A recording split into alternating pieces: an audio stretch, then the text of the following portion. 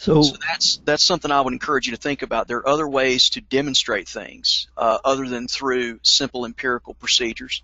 so it can't be done through science. No. Okay. How are you So- how are you going to measure an immaterial process? How are you going to beat a ghost with a baseball bat? You can't do it.